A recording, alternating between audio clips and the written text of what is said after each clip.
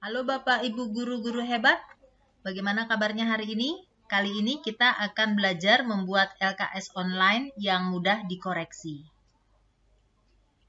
Halo Bapak Ibu guru yang hebat-hebat, kali ini kita akan belajar bagaimana cara membuat LKS untuk siswa kita yang mengikuti pembelajaran lab atau laboratorium.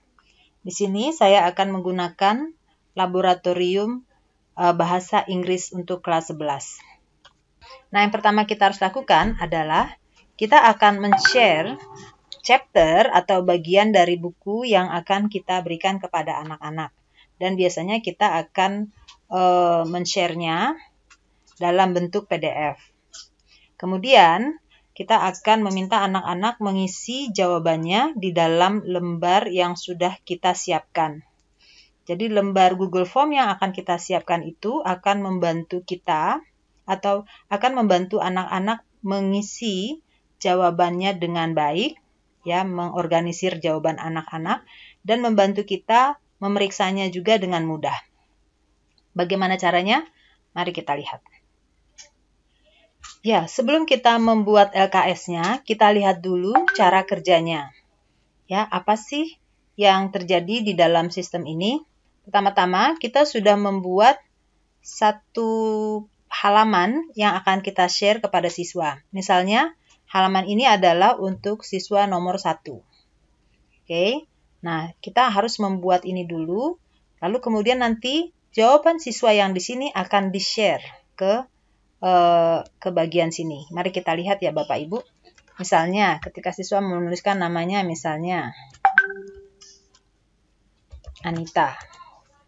Oke, maka kita akan lihat di sebelah sini secara otomatis ya nama anak akan muncul. Kemudian misalnya kelas 11 MIPA 7 misalnya. Oke, langsung akan muncul juga. Misalnya jawaban anak. Misalnya jawabannya A, B, D, C, A, E, A, B, C, E.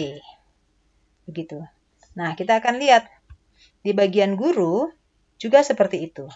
Jadi apa yang dituliskan anak di sebelah sini akan muncul di laporan e, di tempat guru gitu.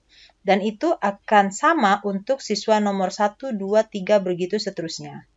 Nah, jadi ini kebetulan untuk siswa nomor 1 ya, dia akan memberikan jawabannya di halaman siswa, di halaman LKS-nya, dan kita akan langsung dapat melihat jawabannya di e, lembar laporan kita. Begitu ya Bapak Ibu ya. Nah, bagaimana caranya? Mari kita lihat. Oh ya, dengan cara seperti ini, kita dapat dengan mudah memberikan nilai kepada siswa. Ya, jadi misalnya di dalam kolom sini akan kita buat kolom nilai. Begitu ya Bapak Ibu. Misalnya nilai Nah, nanti kita tinggal koreksi nomor satu benar atau salah, nomor dua, nomor tiga, begitu seterusnya. Nah, setelah kita lihat nilainya benar berapa atau salah berapa, kita akan dengan mudah bisa memberikan nilai kepada siswa tersebut. Misalnya nilainya 98. Gitu. Jadi kita bisa langsung tahu bahwa siswa nomor satu di kelas ber, di kelas tersebut yang bernama Anita misalnya mendapat nilai uh, 98 gitu ya Bapak Ibu ya. Itu untuk chapter 1. Nanti di bawahnya kita bisa bikin chapter 2, chapter 3, begitu seterusnya. Gitu. Oke. Nah, mari kita lanjutkan bagaimana cara membuatnya. Ya, sebenarnya membuat LKS ini tidak begitu sulit, hanya saja memakan waktu yang lama dan juga energi yang lama. Jadi kita harus sabar ya Bapak Ibu. Dan eh, langkah-langkah eh, awal juga sudah uh, saya buatkan. Jadi kalau Bapak Ibu mau pakai eh, langkah-langkah yang sudah saya buat, langkah-langkah awalnya template yang sudah saya buat gitu ya. Bapak Ibu bisa pakai. Jadi langkah-langkah awalnya sudah saya buat. Jadi Bapak Ibu uh, bisa menghemat energi sedikit ya. Oke, nah Bapak Ibu tinggal copy link ini, ya bisa lihat di bawah video. Setelah kita mengcopy link tadi, ya kemudian kita paste di uh, tab baru gitu ya Bapak Ibu. Nah, ini nanti dapat nih misalnya ini uh, kita login ya setelah kita uh, copy nanti hasilnya seperti ini.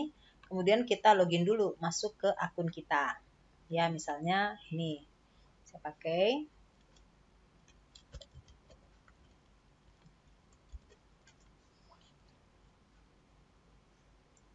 Oke, setelah memasukkan nama dan sandi atau password, nah kita diarahkan ke drive kita. Nah, ini masih uh, eh, LKS model saya, yang masih uh, file saya. Bapak Ibu hanya melihat saja. Nah, jadi Bapak Ibu harus mengcopy dulu. Ya, cara mengkopinya, Bapak Ibu buka dulu. Ya, ini. Nah, kemudian file, make a copy. Nah, mau kopinya ke mana? Bikin di drive Bapak Ibu. Oke. Nah, terus klik kanan, eh klik kiri, kemudian ke drive. Nah, Bapak Ibu bikin sekolah misalnya. Terus di sini, oh belum ada misalnya foldernya, bikin foldernya baru. Foldernya adalah folder LKS. Ya, LKS Bahasa Inggris misalnya. Oke. Kemudian, ini dalam LKS, tapi kita maunya per kelas. Jadi kita bikin folder lagi. Misalnya kelas 10, 11, MIPA 1 misalnya. Oke, enter. Nah, baru kita masukkan di sini.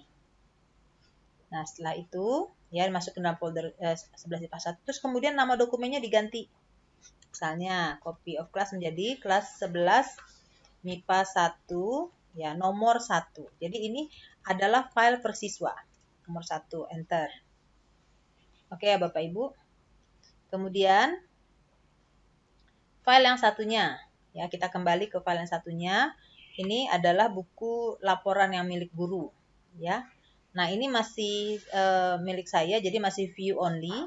Bapak Ibu nggak bisa ngapa-ngapain di sini jadi harus copy dulu. Make a copy namanya misalnya uh, ini copy off-nya dihilangkan LKS buku lab bahasa Inggris 11 MIPA 1 misalnya. Tapi ditaruhnya di mana? Ini foldernya diklik. Kemudian klik kiri. Kemudian my drive. Sekolah. Kemudian LKS bahasa Inggris tadi. Kelas 11 MIPA 1 jadi semua file guru dan siswa masuk di uh, kelas 11 MIPA 1. Gitu ya Bapak Ibu, terus oke. Okay. Ya, jadi ini kita sudah dapat file yang kita punya. Oke, yang tadi ini yang uh, punya saya sendiri. Oke, dihapus saja. Oke, nah ini sudah di folder Bapak Ibu. Kemudian yang berikutnya yang harus dilakukan adalah uh, Bapak Ibu harus merubah dulu ini bagian sini, ya. Bapak, kalau Bapak Ibu lihat ini bagian A ini semua sama dengan bagian A milik siswa. Jadi bagian A di guru sama dengan bagian A milik siswa. Nah, berarti nah jadi kita maunya bagian A ini nanti akan terkopi juga ke siswa kan? Nah, ini udah saya buatkan. Nah, jadi Bapak Ibu tinggal merubah aja misalnya uh, part A ini misalnya Bapak Ibu ganti jadi bagian 1. Misalnya. Terus hanya ada lima soal misalnya. Ya, lima soal. Nah, terus oke. Nanti Bapak Ibu lihat nih. Belum sama kan? Nah, kalau belum sama berarti ada yang salah. Yaitu rumusnya. Ya, karena rumusnya ini masih pakai rumus uh, file model tadi. Jadi kita harus rubah rumusnya. Caranya adalah Bapak Ibu harus mengambil link ini link ini, link guru ini Bapak Ibu copy ya, setelah disorot di copy. Terus Bapak Ibu paste. Paste-nya mulai dari sini loh Bapak Ibu, dari HTTPS ini semua terus sampai ada kutip. Jadi dia di dalam kutip. Terus setelah Bapak Ibu sorot ini, Bapak Ibu kontrol V. Nah, jadi dia mengcopy semua, mengcopy uh, link yang ada di uh, guru. Nanti hasilnya seperti ini, kemudian Bapak Ibu klik allow access. Nah, udah lihat ya Bapak Ibu lihat ya. Jadi di guru hanya 5, di siswa juga 5 gitu. Nah, jadi eh, bagian-bagian ini Bapak Ibu yang bikin. Jadi misalnya ini mau dihapus lah. kebanyakan yang kosong nggak perlu. Oke, terus di delete. Misalnya. Terus part B-nya ada 5 juga misalnya. Berarti ini di delete aja nih. 6 sampai 10-nya di delete. Oke. Nah, coba kita lihat di siswa. Benar nggak? Ya, sampai 5. Ya, jadi bagian 1 5, bagian nah. Ini oh, saya kita bikin bagian 2 misalnya, bukan part. Nah, ini bagian 2. Oke, kita lihat sama nggak? Sama bagian 2. Oke, Bapak Ibu ya. Nah, nah sekarang ini baru satu siswa. Oke, padahal Bapak Ibu guru punya lebih dari satu siswa kan satu kelas. Oke. Dan saya juga sudah menyediakan ini banyak siswa loh Bapak Ibu. Bapak Ibu lihat ini sampai siswa nomor 35. Kalau masih kurang Bapak Ibu tinggal copy aja. Misalnya nomor 36. Nah, copy dari sini. Copy terus sorry. Paste di sini. Begitu. Ya Bapak Ibu ya. Ya, tapi ini rumusnya nih masih rumus salah semua. Jadi Bapak Ibu harus mengganti rumusnya. Ada di situ kesabarannya. Ya. Nah, apa yang dilakukan? Nah, kita kembali ke file kita ya, My Drive. Oke. Kemudian kita ke tadi ke uh, folder kita yaitu LKS Bahasa Inggris 11 MIPA 1. Nah, ini baru ada satu anak kita akan merubahnya menjadi uh, mengcopy menjadi 35 anak misalnya. Jadi copy. Ya, uh, Bapak Ibu bisa make a copy. Begitu. Terus lagi make a copy. Uh, kita langsung ganti aja ya Bapak Ibu ya namanya. Kalau saya lebih suka langsung ganti nama. Uh, ini langsung dibuka aja. Terus Bapak Ibu ganti namanya di sini. Ganti nama file yang bagian atas, terus siswa nomor 1 diganti jadi siswa nomor 2. Gitu. Terus nanti tampilannya seperti ini. Nah, allow access. Dah, sama kan? Oke, setelah itu itu sampai siswa nomor 2. Bapak Ibu copy lagi, make a copy. Jadi klik file, make a copy. Ya, ganti siswa nomor 2 jadi siswa nomor 3 terus copy off-nya hilang. Oke, enter. Dia akan buka file baru, yaitu file untuk siswa nomor 3. Nah, kembali lagi seperti ini, Bapak Ibu harus allow access. Agak repot ya Bapak Ibu ya, lumayan repot lah untuk 35 orang kita harus begini, memang satu persatu gitu. Lagi, ya tapi nanti hasilnya sangat mudah Bapak Ibu untuk mengoreksinya ya. Oke, file nomor 4. Oke. Bapak Ibu lihat.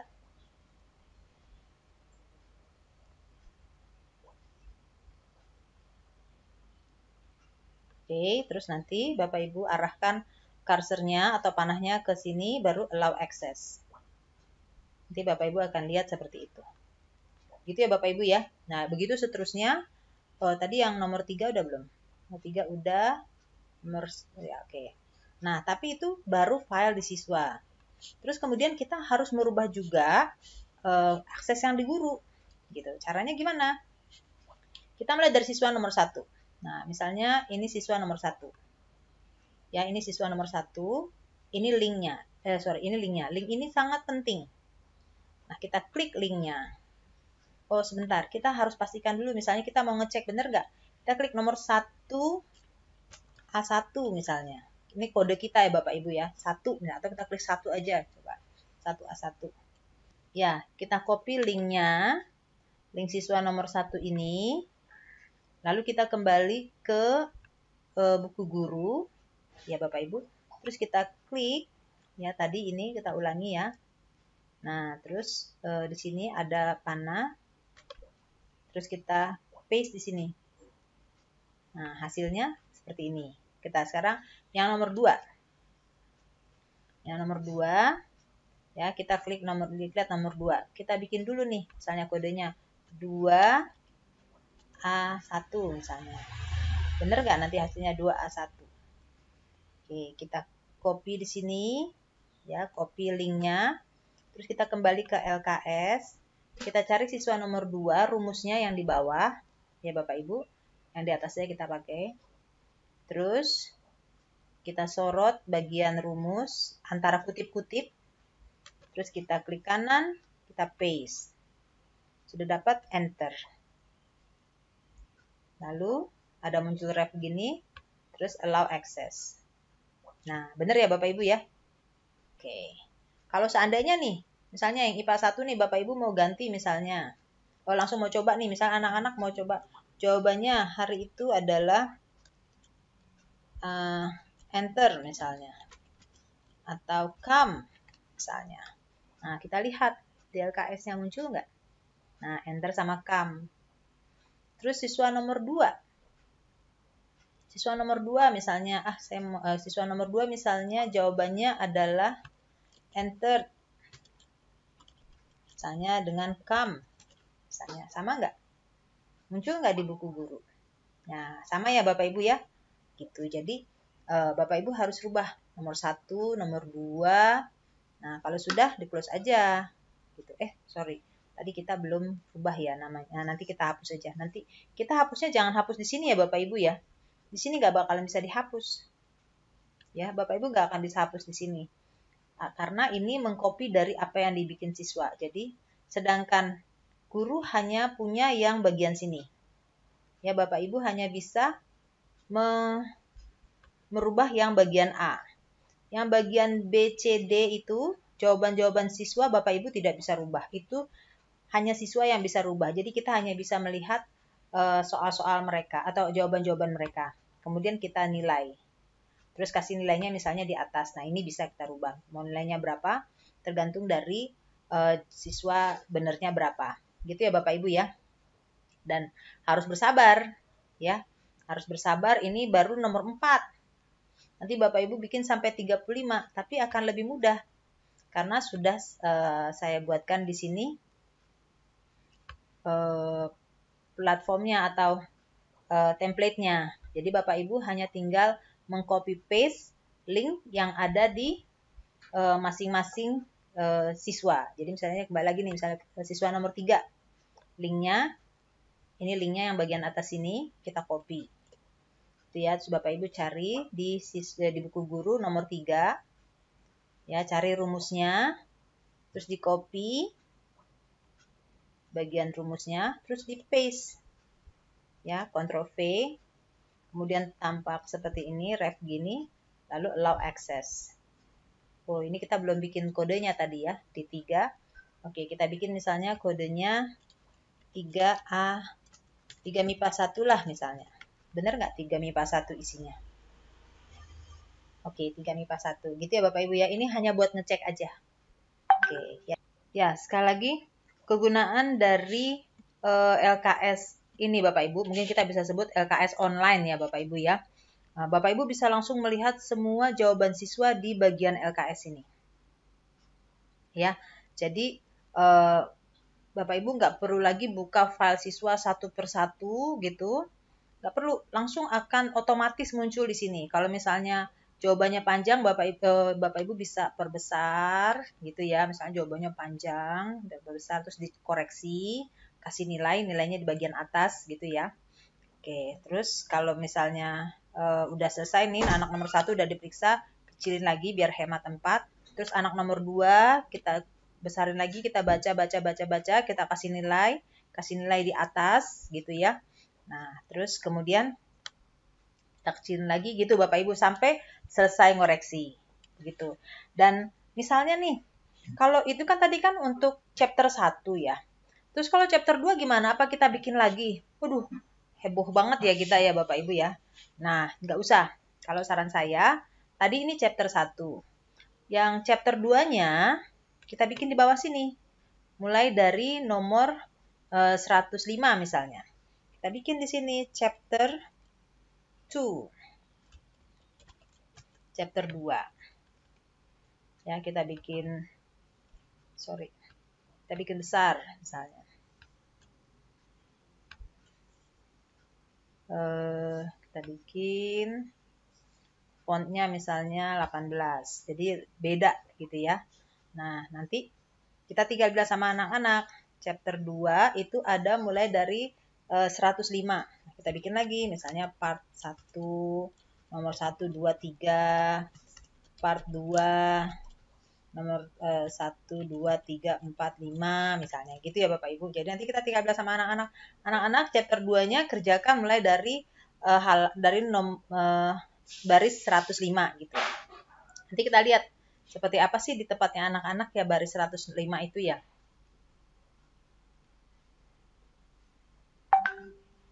Ya, kita lihat baris 105-nya ya seperti ini. Ya, kalau di bagian anak-anak e, tidak ada e, perbedaan dalam e, fontnya ya, besar kecil fontnya nggak ada masalah. Ya, tidak ada perbedaan.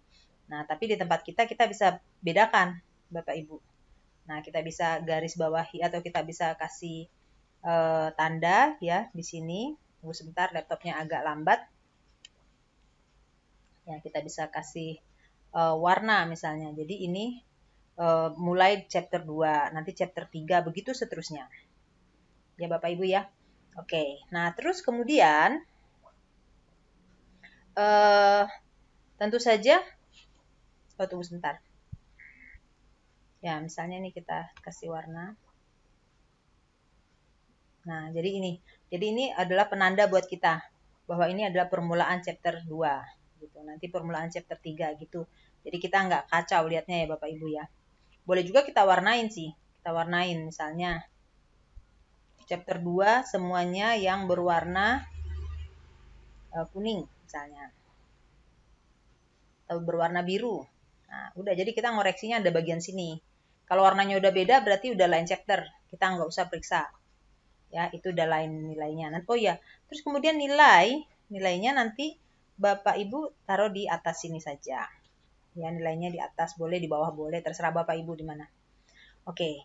Dan e, perlu diperhatikan kita menggunakan e, Google Sheet ya Bapak Ibu ya. Ya, jadi ini e, formnya Google Sheet. Terus lagi, e, sekarang bagaimana caranya supaya anak-anak bisa mengisi ini?